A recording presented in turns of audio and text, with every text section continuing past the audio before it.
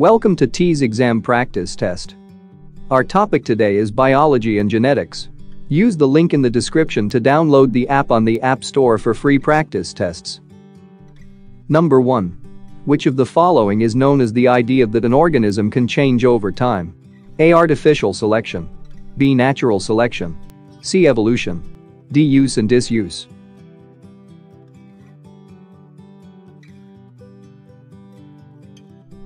The correct answer is C. Evolution. Explanation. Evolution by definition is the change over time. This is not to be confused with the next closest choice of natural selection. Natural selection is the way that nature will select out those organisms that are best suited to their environment. Number 2. Who is the scientist known as the father of genetics? A. Charles Darwin. B. Thomas Malthus. C. Barbara McClintock. D. Gregor Mendel.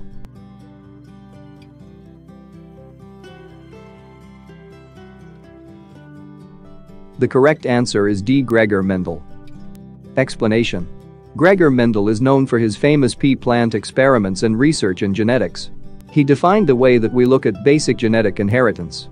His research helped create an understanding of basic inheritance, dominance and recessive traits. Number 3. A carrier of a genetic disease is most likely to have which genetic makeup? A. Homozygous dominant genotype.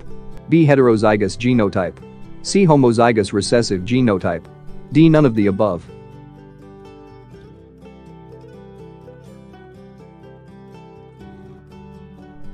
The correct answer is B. Heterozygous genotype. Explanation. Heterozygous genotype is the genotype that would most likely make up a carrier of a genetic disease.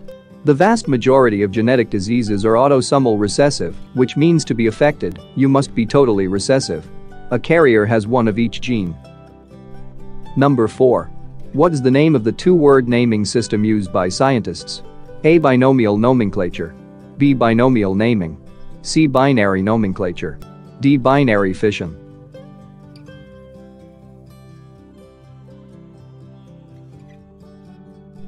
The correct answer is A. Binomial nomenclature. Explanation. The two-word naming system used by scientists is known as binomial nomenclature.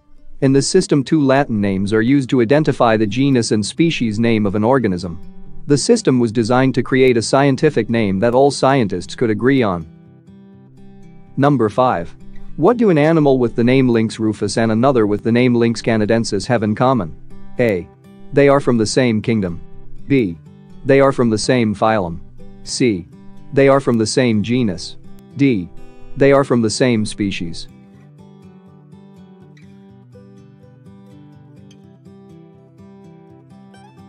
The correct answer is C. They are from the same genus. Explanation.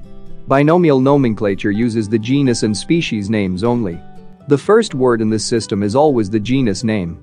The second word is always the species name. They belong to the same genus.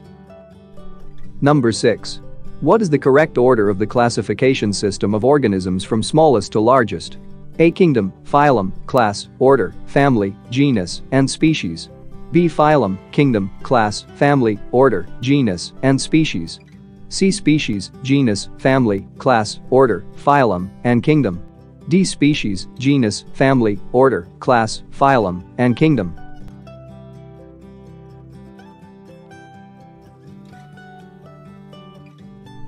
The correct answer is D. Species, genus, family, order, class, phylum, and kingdom. Explanation the correct sequence from smallest to largest is species through to kingdom. Species, genus, family, order, class, phylum, and kingdom.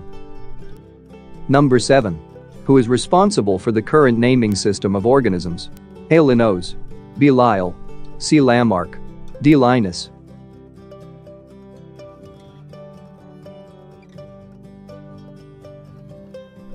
The correct answer is A. Linnaeus.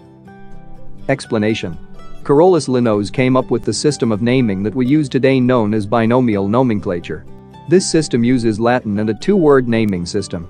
He used this system to prevent any confusion when naming organisms. Number 8. Which of the following is known as the part of an animal cell that creates energy? A. Mitochondria. B. Chloroplast. C. Golgi body.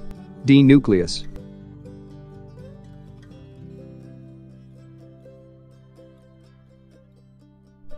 The correct answer is A. Mitochondria. Explanation. The mitochondria are responsible for energy production in an animal cell. The chloroplast does help to produce energy, but in plants only. Number 9. A farmer breeding tomato plants for larger fruit is an example of A. Natural selection. B. Selective breeding. C. Captive breeding. D. Artificial breeding.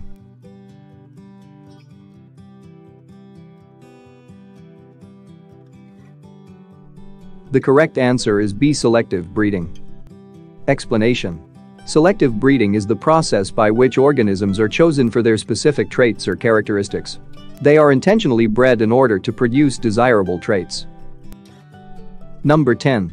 Which of the following organisms has a true nucleus? A. Bacteria. B. Prokaryote. C. Archaebacteria. D. Eukaryote.